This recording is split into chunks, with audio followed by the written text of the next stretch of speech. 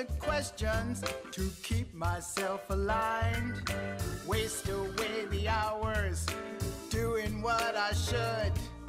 Knowing that my soul tells me it's not for my own good. Um, today I want to talk to you guys about mind power.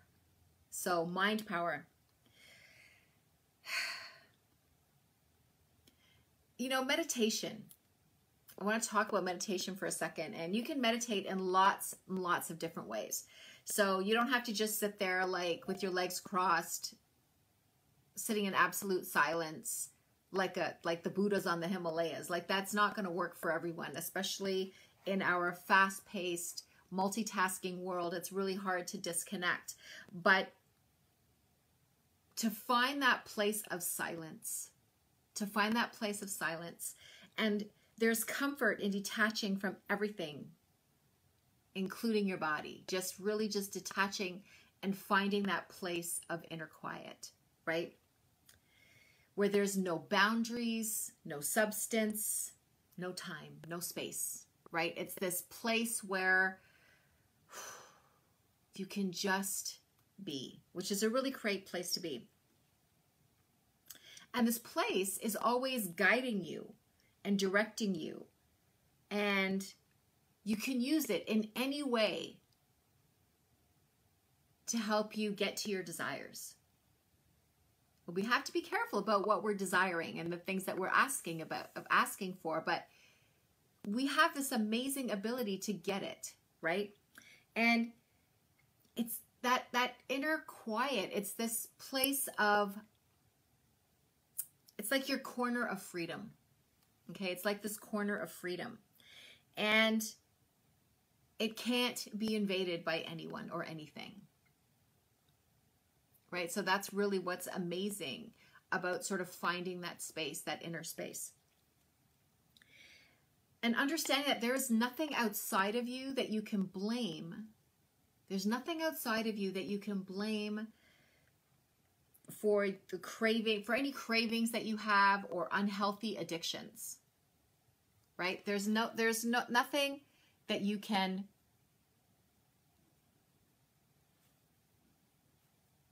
There's no one, nothing else that you can blame for that. So for those cravings and unhealthy addictions. In your mind, you make choices. And you can choose to go with those cravings and unhealthy addictions, or you can choose, you can choose to go to to understand that's better word to understand the power of your mind good morning Good morning, everyone. Good morning, Joy Ann. Your mind, your mind can give you a lifetime of peace and tranquility. It can. It can give you anything that you ask for. We just have to understand the power of our mind and and that it will give you whatever you ask for. So by changing your mind, you can start to really live your life to your best potential. By changing your mind, by changing the way that you look at things, the things that you look at will change. Right? By changing the way that you look at things, the things that you look at will change. So creating a life of giving rather than a life of lacking. You know, if you want things in your life, good morning, Kathy. If you want things in your life, if you want to make your life better and you know what those things are, you know, instead of talking about it that you're what you're lacking, you need to talk about the things that you want as if you have it, right? So we know about law of attraction. But also looking at it as, you know, what can you give when you get what you want? What will you give in exchange when you get what you want? Right? I offer healing to people. Right? That's what I give. So, what will you give to get what you want? I offer transformation. You know, so people say, I want this, I want lots of money, I want a big house, I want a big car, a fancy car, I want, I want, I want.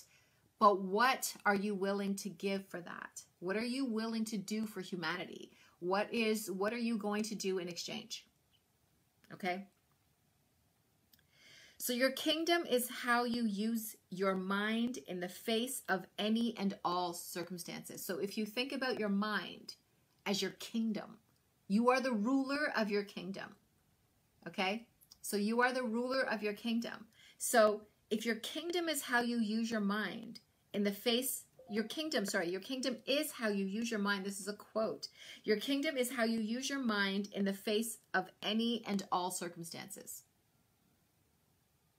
Right? Good morning, everyone who's joining in. So, if you can use your kingdom and you're the ruler of your kingdom, then what are you doing in your kingdom? Are you one of those rulers who just takes, takes, takes? Are you one of those? Are you one of those rulers who is greedy, greedy, greedy, just wants, wants, wants? Or are you a giving and kind ruler where there's an exchange, right? You get this, you give that. Okay, so there's this exchange. So you need to decide what kind of a ruler of your kingdom are you going to be? Right? Think about the things that you ask for. Think about the things that you desire in your life. And have you offered anything? You know, I want that big dream house. I want to make that money. I want to blah, blah, blah. And it's great. I am not judging what you want. You should have the things that you want in this life. That's that is your prerogative. This this universe is full of abundance. We can have whatever we want. But what are you willing to give? Okay? And stop the need to prove yourself. We have this uh, this innate I don't know, gene or something. I don't know what it is, but we have this need to like prove ourselves to people. Just be. Just be yourself. Don't prove yourself. Just be yourself. Okay, just be you. Don't worry about what other people think. Don't worry about anything. When we worry about what other people think, that takes away from us, from our own potential of what we can do because we want to live our lives according to someone else's approval. Why? What shape are they in?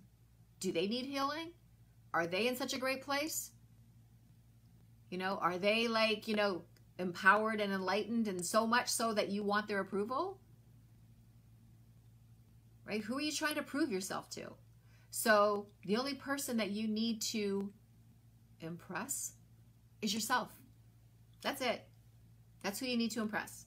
You want to prove yourself to someone and what you can do, then do it for yourself. Right? Just be. Just be you. Your mind is also, this is the very important thing because when I'm working with my clients, I need to always tell them this and express this to them over and over again because people forget this. Your mind, your mind is also in charge of your health. Your mind is in charge of your health. Okay, that's what's also happening in that kingdom, that inner kingdom. You are creating your health as well. So, Changing your mind about healing, right? Changing your mind about healing. You know, are you continually talking about how you're suffering and struggling and challenging and being challenged? Or are you ready to take control of your healing and do what it has to be done and do what needs to be done? get help, do what you have to do to get into a better place, to improve, renovate, to just renovate your kingdom, right? It's time to do that inner renovation, renovating that inner landscape, right? So, my challenge to you today is practice mind control. Practice mind control to eliminate self destructive behaviors. Controlling your mind. Your mind does not control you. You control your mind. We have been brainwashed and we do things ass backwards. We love backwards. We think backwards. We we do it all backwards. We pray backwards. We do it all ass backwards. Okay? So understand that you rule your kingdom. Your kingdom doesn't rule you. Right? So take control and be a good queen or king of your kingdom and be giving and be kind so that you can have or you will have what you want. And when you get what you want, it will have meaning. Right? So you get that fast car. Yay. Okay, great. If it doesn't have any meaning for you other than just being this object that you got. Okay, so make the things that you ask for, the abundance that you want in your life, have meaning by giving by being giving and kind and loving and compassionate to other people. Okay? And eliminate the self-destructive behavior. Think about the things that you're thinking. I know that sounds weird, right? Observe the things that you're thinking. What are you saying to yourself? Okay, what are you saying to yourself? And are these things kind? Are they loving to you? Or are they destructive, self sabotaging? Right? You need to observe. Stop living your life like you're on a runaway train. Right? You're just on this, ah, I have no control over what's happening. Look at me. I'm just, I'm derailing. Like, of course you have control. You have all the control. Who else would have the control? You are sitting at the controls. So you can choose to have it just sit there on autopilot and do nothing about it. That's your choice. I mean, we have everything we do is a choice. But understand that doing nothing is also a choice. Letting things happen is also a choice. But by not making a choice, you are making a choice. And there will be a consequence and an outcome. Okay, so are you just sitting on autopilot? Eh, I'll get where I get. Or are you driving the train? Like, what are you doing? Right? So it's about understanding what you're doing.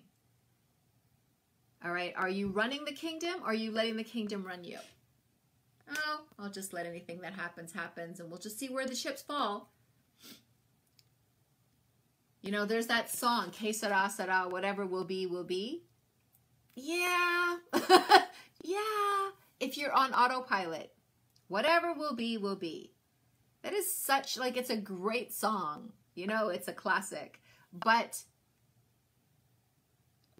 the things that will be will what you what you create. That's what will be. Okay? So you know whatever will be will be is like living on autopilot. That's just like saying you know what? I'm not responsible for my life and whatever happens happens. Okay? What? No, you are fully responsible for your life. Okay, you are full on need to be in control of your life. So that's something that I want you to practice this mind control. Practice eliminating self destructive behaviors. Observe what you're thinking, what you're doing. Are you in control of your life? Okay? If you have trouble doing this, all right, that's when you need to contact me or someone like me so I can help you, okay? Because, you know, we can't always do this alone. Spend time being bewildered and in awe of your mind and, and the power of it. Like, just like amazed at how powerful it is. You know, we ask for magic in our lives all the time. Well, we don't really understand that we are creating magic all the time. Right? We are creating magic all the time.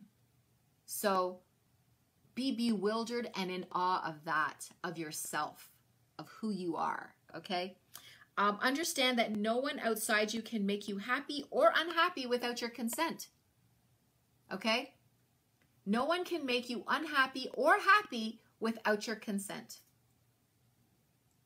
Okay, so if someone is treating you badly, you allow it. Okay? Take ownership of that. Own it. No one can wipe their feet on you unless you lay down like a mat and let them. Okay? So, if you are unhappy in your life, you've given consent to that. You have control. You have given consent to your unhappiness. You have given permission for that person to act badly towards you. Okay? And that's a lot of power to give someone else, by the way. Okay? Someone else should not control your happiness or your unhappiness, or you should not give that control to somebody else. That is a hell of a lot of power to give to someone else. Okay? So just paying attention to that. And just remember, like I've said, you are the ruler of your kingdom. Your kingdom, your mind, you are the ruler of your kingdom. So, you, like I said, you need to decide what kind of a ruler are you going to be? And what kind of boundaries are you going to put up? What consent will you no longer give? Okay? So, it's very important to understand that you can't blame anyone outside of you for anything. You need to understand that, okay? And you if someone is doing bad things to you or treating you badly or hurting your feelings or is just rude to you or whatever, demeaning, they're patronizing, condescending, whatever it is that they're doing to you, you have given them consent to do so. You know, it can happen the first time. You didn't know it was going to happen. Things can happen the first time. But if they happen a second and third time, you need to own that. You need to own that. Okay? So be a good ruler. Be a great ruler. Have the best kingdom ever. So just think about that. And that is my um that's my talk today about mind power and the power that you have. So I'd like you to just maybe take today and consider that and just observe your life. Observe what's going on in your life. Observe what's going on in your mind. Observe your thoughts. Find that place of quiet inside, even if it's just going for a walk and just be. Take control of what's happening in there. Be the best king or queen ever. Okay? You are the best ruler of you. All right. So have a great day. Thank you so much for listening this morning, and I will talk to you all soon. Bye. Look at my reflection in the mirror. I see not the person who lives inside of me. Done with all the fear and doubts, the negativity. I'm shedding all the crap right now. I'm